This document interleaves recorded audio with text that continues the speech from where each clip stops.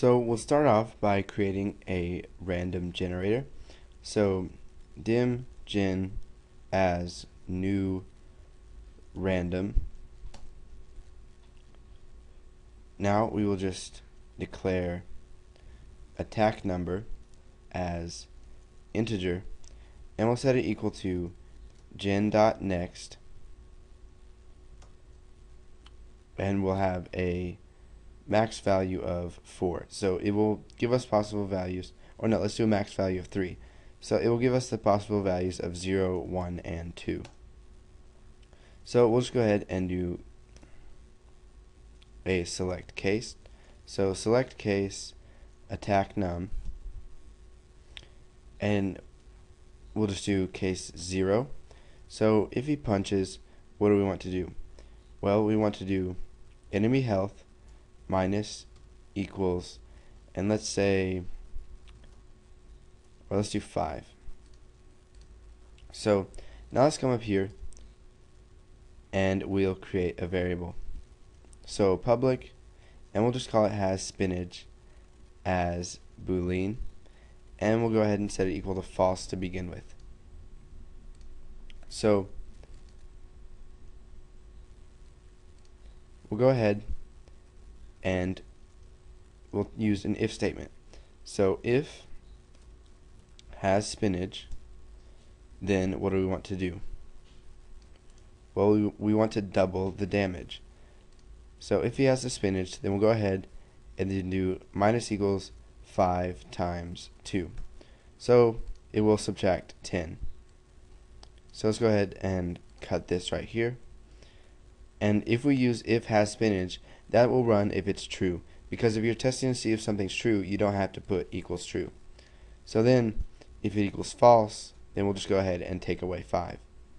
Now we'll do this for each of the possible uh, values. So case 1, if has spinach, then enemy health minus equals, and we will do for a kick, let's do 8 times 2 or it will do 10 times 2 and then if he doesn't then enemy health minus equals 10 and then for the last attack case 2 the anchor throw um, if has spinach then enemy health minus equals 15 times 2. And then if he doesn't, then enemy health minus equals 15. Now, in order for, uh, for us to be able to get that enemy health and set it, we're going to have to come over to our enemy class, which all of our other enemies inherit from, and we're going to have to make health a read and write property. So, under our get and end get, we will do type set and it will fill by val value as integer. And what we want to do is type int health equals value. So now that they now they can set the health of the enemy and we can use that inside of this attack. So let's go ahead. We'll come over here to our form1.vb design and let's just shrink the attack button down a little bit. So we'll make it say that big. And let's come over here come over here to our toolbox and we'll add a radio button. So we will line it up here with our button and we will set the text to use spinach. But first we'll set the name to radio spinach and we'll set the text to use spinach. And now let's go ahead and add a label. And we'll just, let's move everything down a little bit here.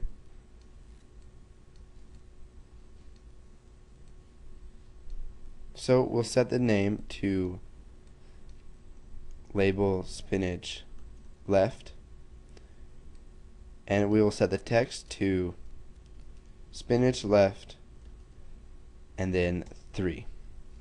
So the user will be able to use the spinach a total of 3 times. Now they won't know what attack this is going to use it on because it's generated randomly. So let's go ahead and resize everything. So now what we need to do is come into form1.vb and let's create an object of Popeye. So private, um, let's just call him hero as new Popeye. So now that we've created that, let's go ahead and use him when he attacks. So we'll come over here to form1.vb. We will double click on attack. And what we want to do is check to see if they have selected use spinach. So we will come up here and we will create a variable. So private int spinach as integer and we'll set it equal to 3. So if radio spinach dot checked equals true then we'll go ahead and set the has spinach equal to true. So hero dot has spinach equals true. So now that now that it is true, we will just go ahead and attack. So hero dot attack. And what we want to do is access the health of the enemy. So we'll type current enemy dot health. So after he attacks, what we want to do is set has spinach back to false. So hero dot has spinach equals false. Now we also want to see how many of these they have left. So if this is checked, if this checked equals true, and if int spinach is greater than zero, so int spinach is greater than zero, then we will set that equal to true, and then int spinach minus equals 1. So we just take 1 away from it. And so when we attack the enemy, what we want to do is, is update the, um, the health bar. So we'll type progress bar enemy dot value equals current enemy dot health. So let's go ahead and run this and see what happens.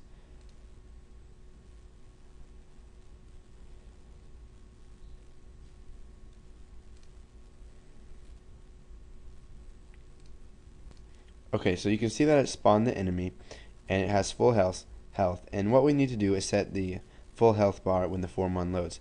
But for now we'll just ignore that. So if we check use spinach and click attack, you can see that it takes some health off the enemy and we can attack again and again until the enemy is dead. And then what we can do is check to see if the enemy has no values left in the progress bar and then we will show a message box saying that you have won. So we'll go ahead and stop this. And so put, go ahead and put this code in if you already haven't. Uh, if you haven't already, I mean. And once you do that, go ahead and move on to the, on to the next tutorial where we will be working more on this game.